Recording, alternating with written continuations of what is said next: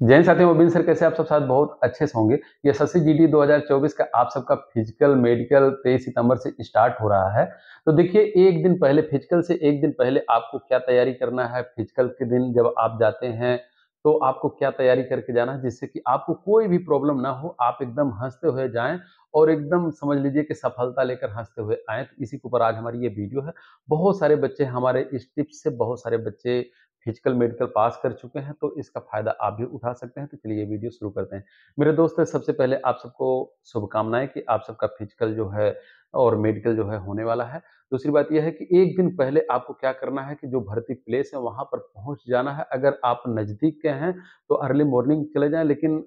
कभी कभी ये होता है कि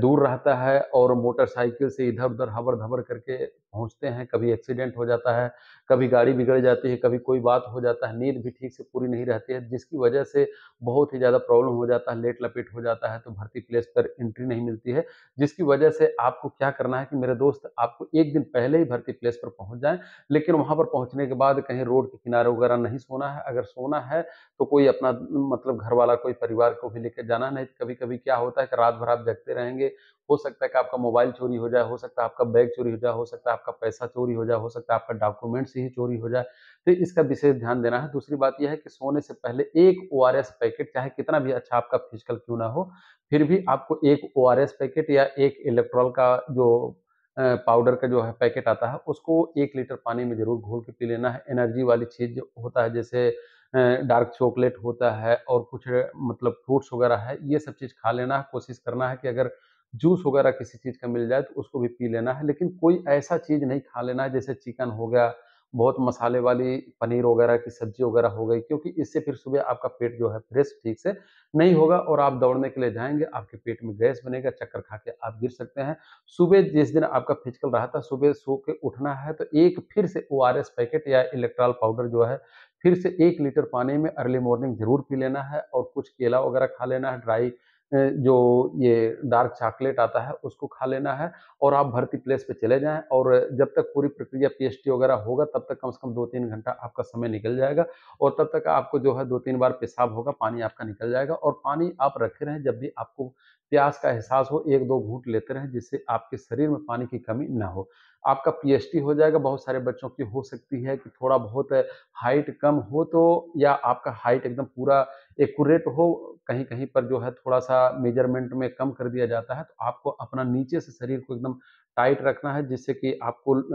लूज नहीं खड़ा होना है और आपका जो है हाइट मेज़रमेंट अच्छे से हो जाएगा, चेस्ट भी हो जाएगा। उसके बाद आपको जैसे ही रनिंग के लिए बोला जाता है, मेरे दोस्त, आपको जब रनिंग गो बोला जाता है, उससे पहले अपना पूरा बॉडी को अच्छे से वार्म अप कर लेना है खड़े खड़े अपना शरीर पूरा गर्म कर लेना है और जब आपको गो बोला जाता है तो ये मान के चलिए उसेन बोल्ट की तरह नहीं भागना, सौ मीटर का स्प्रिंट की तरह नहीं भागना है। जितना आपका बॉडी बोल रहा है, उतना तेज भागना है, न तो सबसे पीछे रहना, न तो सबसे आगे रहना है। छः सात सौ मीटर जाने के बाद आपका बॉडी फुल वार्म अप हो जाएगी, उसके बाद आप अपना जो है स्पीड बढ़ाने शुरू करिए और कोशिश करिए बॉडी वेट आगे रखिए और जो आपके आगे लड़के चल रहे हैं एक एक दो दो लड़के को क्या करिए कि आप पीछे करते चलिए और किसी बहुत तेज जो भागते जा रहा है, बच्चा हो सकता है उसका प्रैक्टिस अलग हो और आपकी प्रैक्टिस अलग हो, उसका साथ नहीं पकड़ना है, नहीं तो उसका प्रैक्टिस हो रखा है और आप उतना तेज नहीं भाग सकते हैं, जिसकी वजह से कुछ ही दूर जाने के बाद आप जो है पेट पकड़ कर बैठ जाएँगे। तो आप अपने स्पीड के हिसाब से भागिए, लेकिन कोशिश करिए कि जितना भी बच्चा आपके आगे चल रहा है एक एक बच्चा दो दो बच्चे को आप पीछे करते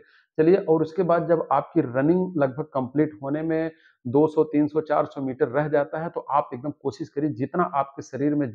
मतलब एनर्जी और बची है फुल एनर्जी लगा देना है कम से कम 100 मीटर का स्प्रिंट आपको ज़रूर मार देना है आपका टाइम बहुत अच्छा आएगा कम से कम 20-22 मिनट में ही आपका क्लियर हो जाएगा। जितने भी बच्चों का अगर भर्ती प्लेस से बाहर यानी कि जहाँ आप तैयारी कर रहे हैं आपका 25 मिनट 26 मिनट भी लग रहा है तो अगर ये आप टेक्निक अपनाते हैं तो आपका 23 मिनट और 24 से नीचे ही आपका ये जो है पूरी प्रक्रिया हो जाएगी। दूसरी बात ये, मेरे दोस्त, अभी से आप पूरा अपना डॉक्यूमेंट्स देख लीजिए। जो भी डॉक्यूमेंट्स मांगा है, आप देखेंगे कि जो एडमिट कार्ड आपको मिला है, उस एडमिट कार्ड के पीछे सब कुछ लिखा है। आपको क्या क्या लेके जाना है, वो सब चीज़ आपको लेकर जाना है। और कम से कम अब की बार आपका फ़िज़िकल भी है, साथ में डॉक्यूमेंट्स वेरिफिकेशन भी है, साथ में आपका जो है मेडिकल भी है तो आपको कम से कम भर्ती प्लेस पे तीन चार दिन का समय लग सकता है तो उसी हिसाब से आप पैसा वगैरह लेकर जाएँ और उसी हिसाब से आप वहाँ रहने का खाने पीने का बंदोबस्त करें। लेकिन आपको कोशिश ये करना है, कहीं ऐसा चीज़ नहीं खा पी लेना है, ऐसा पानी गंदा वगैरह नहीं पी लेना है, जिससे कि आपका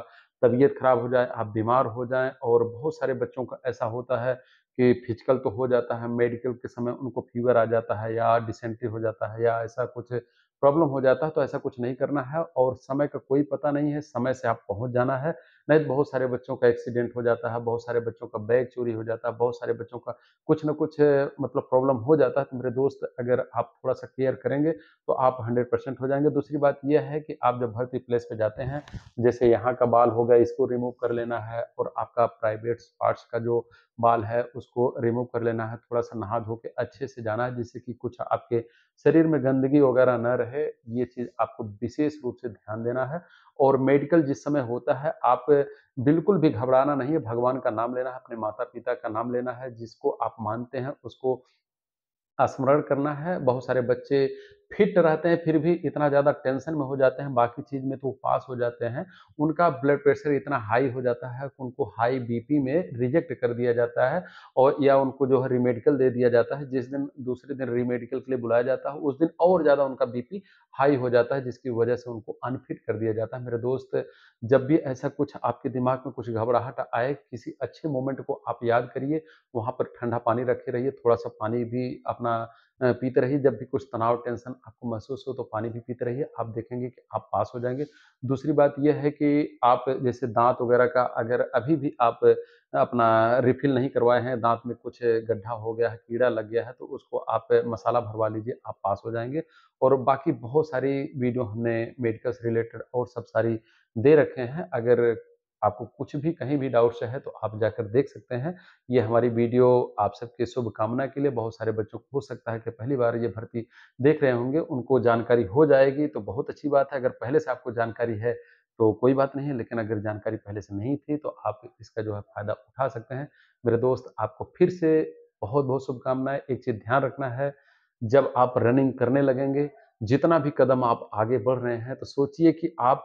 रनिंग फिनिशिंग की तरफ़ नहीं बढ़ रहे हैं, आप वर्दी के नज़दीक पहुँच रहे हैं। आप अपने माता पिता भाई बहन अपने नात, रिश्तेदार, सबका सपना पूरा करने के लिए एक एक कदम आगे बढ़ रहे हैं। ये चीज़ जब तक आपके ध्यान में नहीं रहेगा, तब तक आप जो है फ़िज़िकल बहुत सारे बच्चों का हो सकता है कि हौसला टूटने लगता है। उनको लगता है कि अब रनिंग नहीं हो पाएगी, ये नहीं होगा, वो नहीं होगा। ज़रूर होगा, वही दर्द पेट का, वही दर्द पैर का, वही सब कुछ थकान जितने भी बच्चे आज तक फोर्स में गए हैं, सभी को यही हुआ है और आपको भी वही चीज़ हो रहा है, उससे आपको आगे निकलना है। हमको भी वही दर्द हुआ था, आपको भी वही दर्द हो रहा है, उससे आगे निकलने के बाद ही वर्दी मिलेगी। ये चीज़ ध्यान रखना है, आपको हिम्मत नहीं हारना है, आपको सफलता ज़रूर मिलेगी। और आप सब जितने भी लोग हमारी ये वीडियो देख रहे हैं फ़िज़िकल मेडिकल पास करने के बाद एक बार कमेंट्स ज़रूर करना, जिससे हमको भी पता लग सके कि हमारे कितने भाई बहन फ़िज़िकल मेडिकल पास किए हैं और वर्दी पाने वाले हैं। जय हिंद जय भारत शुभकामनाएँ।